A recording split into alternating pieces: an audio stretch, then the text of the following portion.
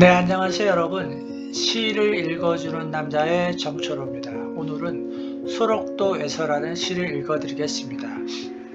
소록도에서 정초로 어떤 그릇으로도 담을 수 없는 이 고통. 그들은 인내의 바다를 매일매일 그렇게 건너왔습니다. 꽃잎 하나 없다고 꽃이 아니라며 밟히던 그들. 사랑도 미움도 포말이 되어 부서지는 소록도 앞바다 오늘도 가슴 속 바다는 말없이 출렁입니다.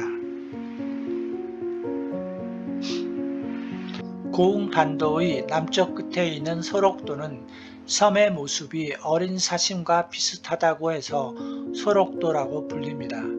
한센병 환자들이 모여 사는 곳이지만 요즘은 일반인들이 아름다운 경관에 자주 찾는 곳입니다.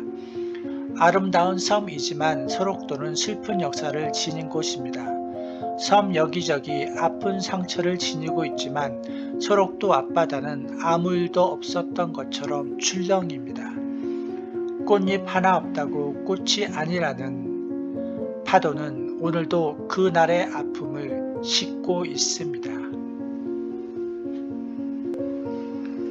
소록도에서 정초로 어떤 그릇으로도 담을 수 없는 이 고통. 그들은 인내의 바다를 매일매일 그렇게 건너왔습니다. 꽃잎 하나 없다고 꽃이 아니라며 밟히던 그들. 사랑도 미움도 포말이 되어 부서지는 소록도 앞바다.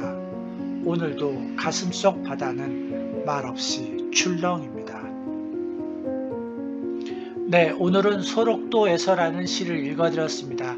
감사합니다.